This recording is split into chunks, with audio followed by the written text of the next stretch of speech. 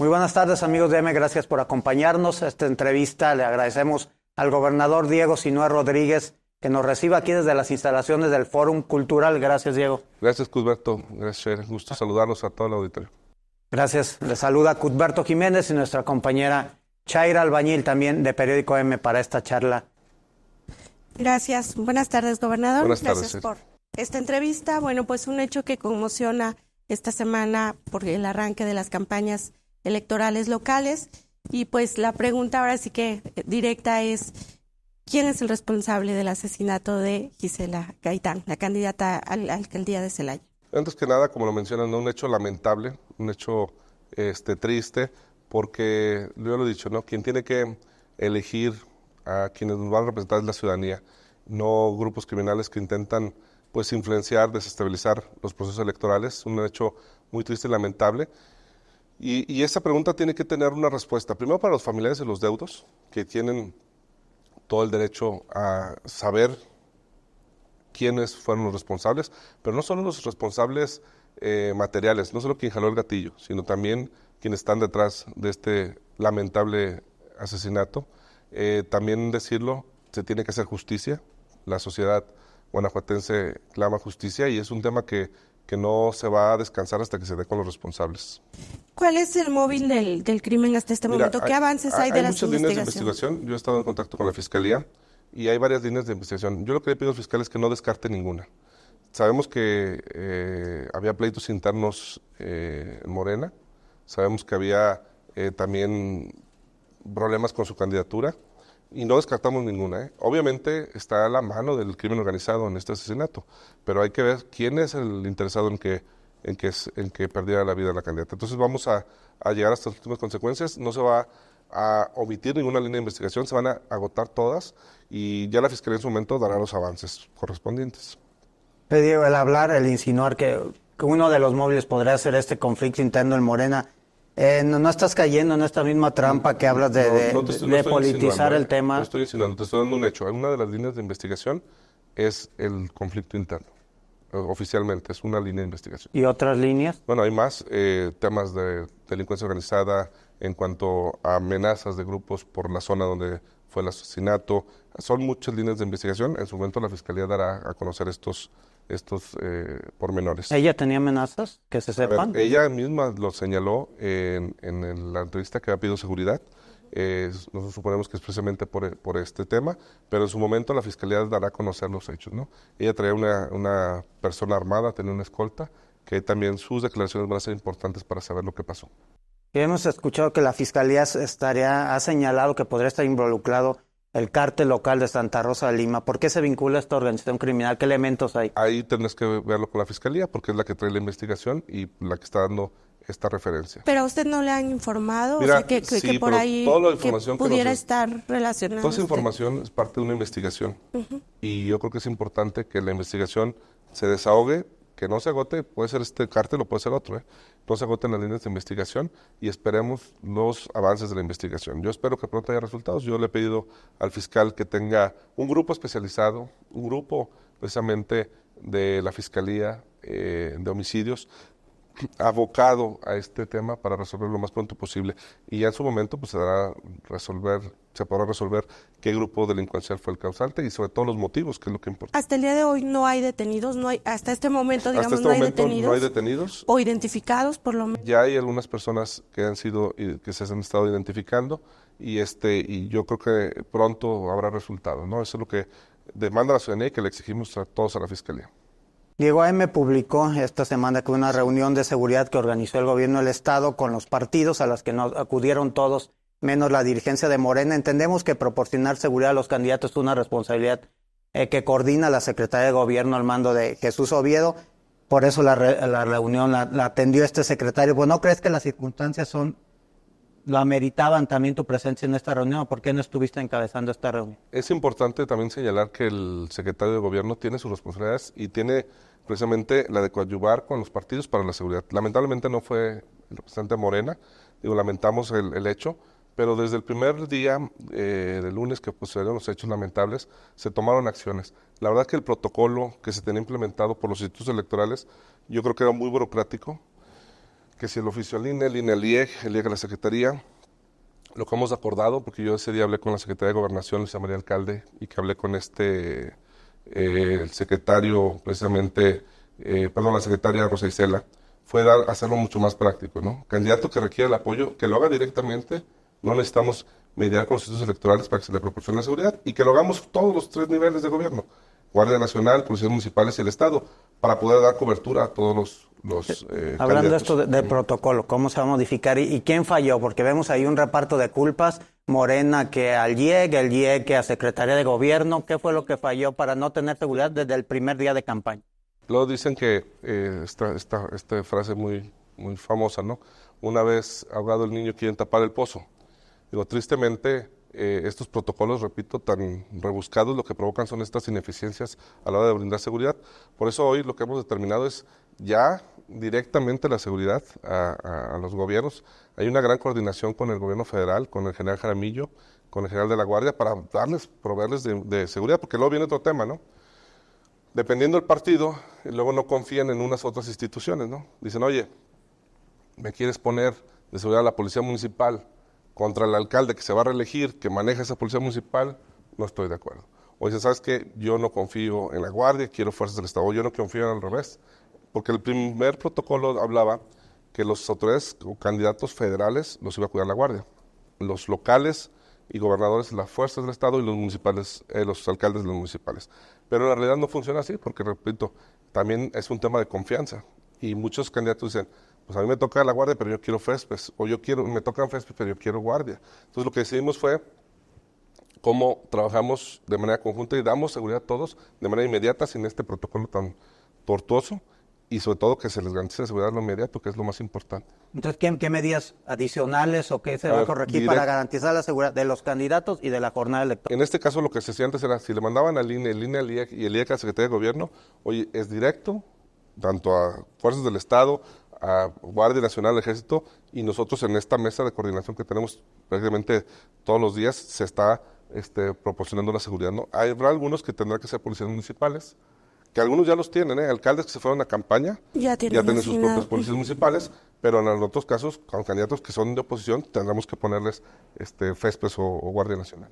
¿Y les van a alcanzar los policías y todos piden seguridad? Tenemos que, tenemos que hacer, redoblar esfuerzos, tenemos que buscar cómo sí, la verdad que por eso es importante que la Guardia Nacional nos ayude. Si no fuera puras fuerzas del Estado, va a ser muy complicado, ¿no? Por la cantidad.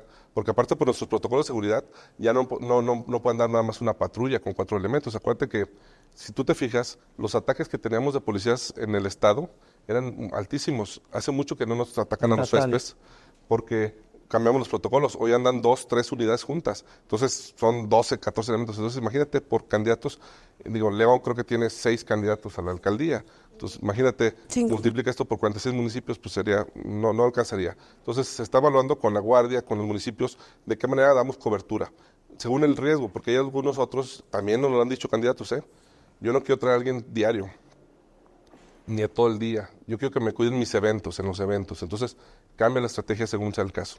Y si hubiera, sé que la seguridad es específica para el candidato, pero si hubiera algún caso en particular que pidieran apoyo también para, para su familia, ¿se puede? ¿Están en capacidad el Estado de brindarlo? tenemos que hacerlo porque evidentemente sabemos que se vuelve vulnerable al no poder tocar algún candidato o por la familia. Entonces, tendrá que ser ya casos especiales y con denuncias específicas por alguna amenaza. Porque acuérdate que también tenemos la tarea diaria ¿eh? de, cuidar este, eh, personas defensoras de derechos humanos, periodistas. O sea, tenemos una sinfín de tareas que se hacen todos los días de, resguardo de personas, este, de testigos, inclusive que nos demandan los jueces. Entonces hay mucho, mucho trabajo, pero tenemos que redoblar esfuerzos y garantizar la seguridad. Ahora, entrando al tema otro también de seguridad, hay un policía desaparecido en Celaya. Bueno, la semana pasada se difundió, seguramente viste este video en el que un policía de Celaya aparece torturado y, asesinado. No se ha, todas las autoridades de ningún nivel han confirmado todavía, eh, aunque ya se sabe que se trata de este policía de Celaya, ¿por qué no hay esta confirmación y, de este hecho? Y si hay también detenidos, ¿de qué información tienes de este lamentable video? Fiscalía trae las investigaciones de este homicidio como de los otros que suceden en el Estado, es precisamente, eh, porque luego mucha gente es que tanto darle veracidad a un video, de una persona que está siendo torturada bajo, bajo por supuesto, amenazas y, por supuesto, un desenlace lamentable.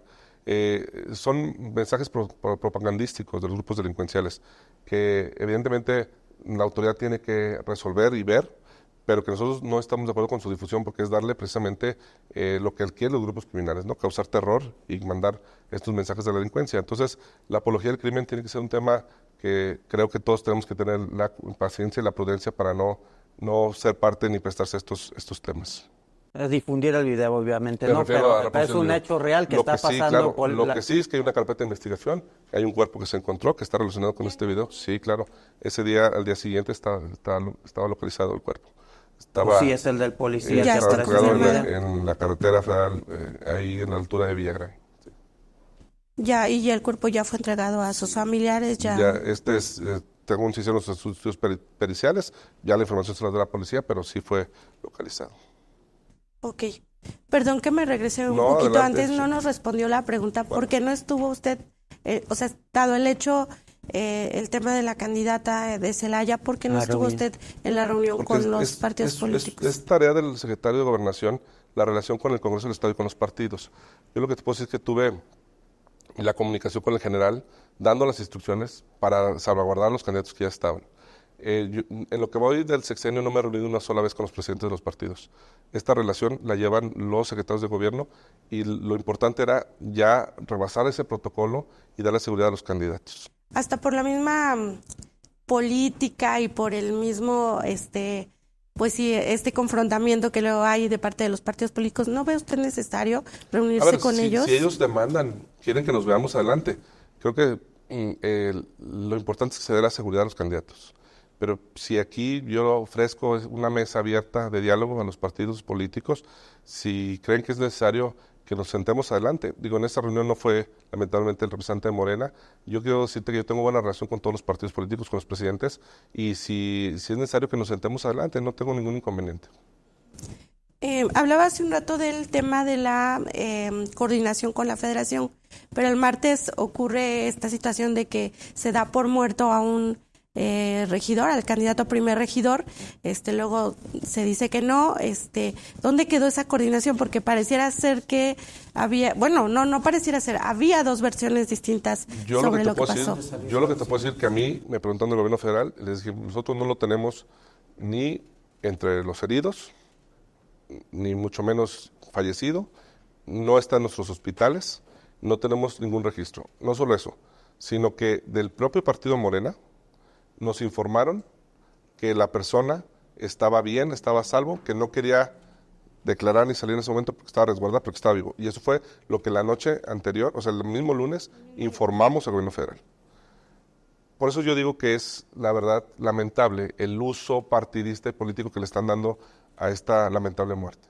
Que en una rueda de prensa, a sabiendas de que la persona estaba viva, digan, porque aparte ya vimos todos el video donde se le dice a la candidata que la persona se dice que está viva y sin ningún remordimiento ellos siguen con esta narrativa para pues seguir sacando raja política, que es lo que me parece lamentable, ¿no? ¿Y a Rosa Isela de dónde fue su fuente de información? Ah, no, yo no sé, hay que preguntarle a Rosa Isela.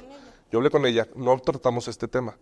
Este tema no lo tratamos. Yo aquí, yo, yo sí informé a quien tuve contacto con el gobierno federal de Secretaría de Gobernación sobre este tema cuando me preguntaron, pero no, mm, no hablé yo con Rosela de este tema en particular. ¿eh?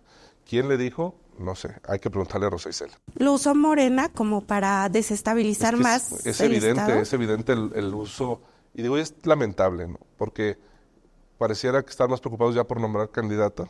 Ese mismo día estaban diciendo opciones de candidatura y cuando todo está de luto, realmente no había un luto ni un, ni un digamos, pues un, verdadero dolor por, por, este fallecimiento y yo los vi como aprovechando, ¿no? sacando una raja política, lo cual me parece, repito, lamentable. Este, sé que son así las campañas, pero creo que esto, el rostro que ha mostrado Morena es el rostro más, más bajo de la política, ¿no? Lo que pasó en el Congreso el otro día, ¿no? Es una supuesta manifestación pidiendo justicia y termina en un mitin y con risas y porras para una candidata. Eso te habla de que una falta de ¿Tú has tenido contacto directo con la familia de Gisela? Tenemos en la unidad de víctimas, aparte de a partir de la fiscalía, yo en lo personal no he tenido contacto, pero eso está este, la fiscalía y todo el, todo el entramado que se ha creado para atención a víctimas. Oiga, este, mm, ¿qué se va a hacer en Celaya? O sea, matan a, desafortunadamente a esta candidata, han matado policías, eh, parece ser que ahí ya hay un descontrol total y no hay tampoco una autoridad, el gobierno no tiene control de la situación. ¿Qué se va a hacer ahí? vamos a seguir trabajando. Mira, la verdad que Celaya se ha ido recomponiendo a través de los años. Si todos nosotros vamos cinco años atrás, había una población ahí que no podía entrar en la autoridad, existía secuestros, existía eh, mucho robo de vehículos, han ido bajando los delitos. Si bien es cierto que ha habido eh, enfrentamientos con la policía municipal y existe un, un largo tramo de conflicto que también nos hace replantearnos el seguimiento de las policías, esta, los famosos FEDEPALES. ¿eh?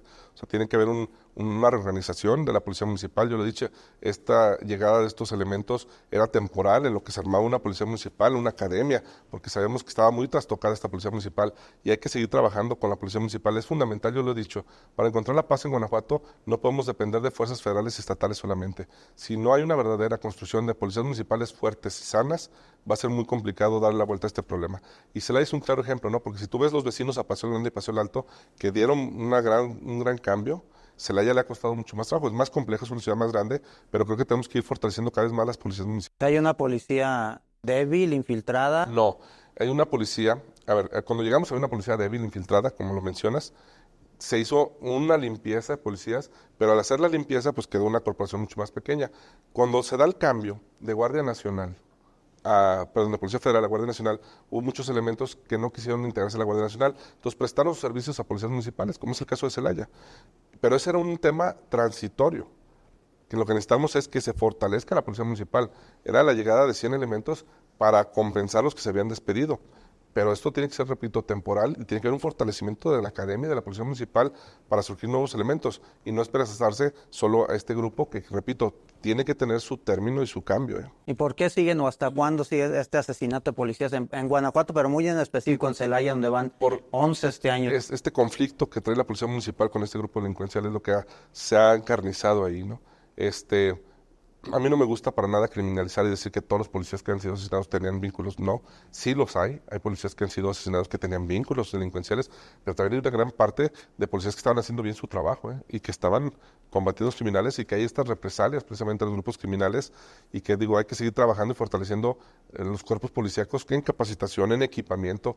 Yo a Celaya les entregamos más de 130 millones de vehículos blindados para para fortalecer este trabajo, pero pues es un trabajo muy duro, muy arduo y que no tiene que tener descanso.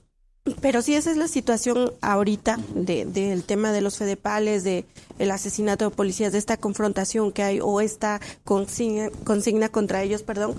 ¿Por qué no entonces le entra el Estado? No, claro que le entramos tanto el Estado y la Federación. El mayor despliegue de elementos de la Guardia y de policías estatales están en la zona del Alaja Bajío. O sea, no solo eso, porque no, no nomás es Celaya, ¿eh? son los vecinos circunvecinos, perdón. Y tan es así que nosotros, Juventino, desaparecimos a la policía y entraron las fuerzas del Estado. Y el mayor número de despliegue de fuerzas del Estado está en esa región. Estamos coadyuvando con la Guardia Nacional, con el Ejército, y es donde más cateos ha habido, donde más operativos ha habido. El despliegue ha sido importante. Necesitamos seguir con esta constancia de trabajo. Hablando de eso, eh, leímos hoy que hubo un, operativo grande ¿no? en, Creo que en Villagrán Juventino está relacionado con este tema del asesinato de Gisela. Hubo resultados de estos cateos, creo que por la madrugada. Ha, habido una serie de, cateos, son parte de las investigaciones. No quiero yo adelantar más, pero eh, será la Fiscalía quien les dé adelantos de, estos, de estas indagatorias y de estos este, cateos que ha habido. Pero sí está relacionado, el de hoy sí está A ver, yo no puedo dar información hasta que la fiscalía no confirme. Lo que te puedo decir es que se está trabajando fuertemente y que se va y que va a haber resultados pronto, eso se les puedo decir. Ahora digo, bueno, nuevamente antier el presidente en la mañanera expresó que Guanajuato está fuera de control y insistió, dijo que el gobernador, aunque le caes bien, dice eh, que tú gobiernas pero no mandas. ¿Qué respondes a este señalamiento? Pues que él al revés, él manda pero no gobierna. Pues este, digo, el país está hecho un caos y a mí también me cae muy bien el presidente, lo respeto, pero si él cree que yo este gobierno, pero no mando, pues él creo que manda, pero pues no gobierna porque el país está hecho un desastre. Por último, nada más, este, la candidata a la gubernatura, bueno, anunció que no va a continuar Alban Samarripa. Se interpreta como un mensaje de que fue un error sostenerlos por tanto tiempo. ¿Cómo toma usted este anuncio? Y si se mantendrán hasta el último día de su gobierno. Mira, eh, cada candidato eh, pues, tiene la oportunidad de hacer sus propuestas y una vez en el poder tendrán que tomar las decisiones. Yo seré muy respetuoso de las decisiones que tomen quien llegue a la siguiente gobernatura, al siguiente sexenio. Y, de entrada te digo que seré respetuoso de estos posicionamientos. Lo que sí te digo que mientras sigan dando resultados estarán hasta el final de mi gobierno. Gracias amigos de AM, gracias compañera Chaira Albañil, al señor gobernador Diego Rodríguez Vallejo y su servidor Cudberto Jiménez. Buenas tardes.